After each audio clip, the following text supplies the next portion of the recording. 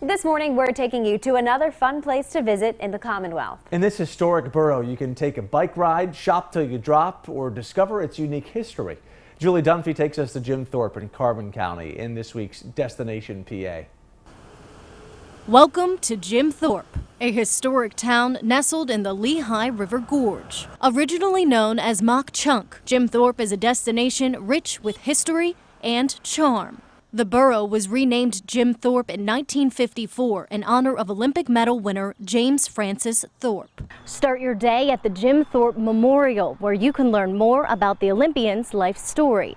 But the borough's history doesn't stop there. Because there's so much of American history right here on this one street, and they can get a really good idea of some of what happened in this area with the coal industry and the railroads and things like that. Don't miss walking around the downtown streets to check out the Victorian structures. Just the atmosphere here is so charming. It's really so charming. The old houses and they're, they're well kept. With more than 30 unique shops, a day spent strolling the sidewalks of Jim Thorpe is sure to involve at least a few shopping bags. It's Jim Thorpe. They got all these cool little shops and the best ice cream in the world. So many of the merchants are open. There's still a few merchants that are closed, unfortunately, at this point in time, but uh, everyone is taking precautions and everyone's taking things kind of at their own pace. I like going in and out of the, um, the little home-owned shops.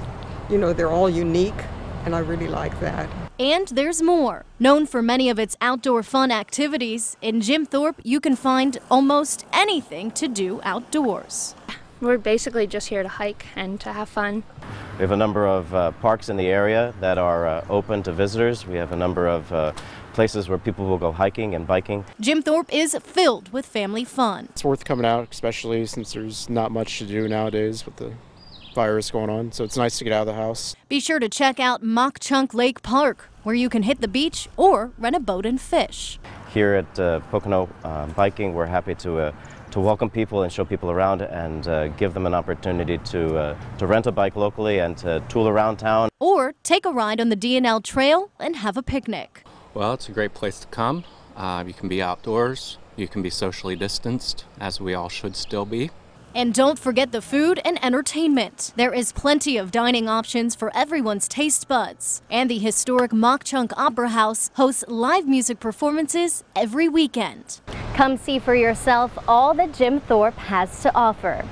I'm Julie Dunphy with this week's Destination Pennsylvania. And don't forget to join us for our next Destination PA on August 26th at 9 p.m., followed by PA Live Destination NEPA at 9.30 on WBRE. The program will then rebroadcast on WYOU on Saturday, August 29th at 7 and 7.30 p.m.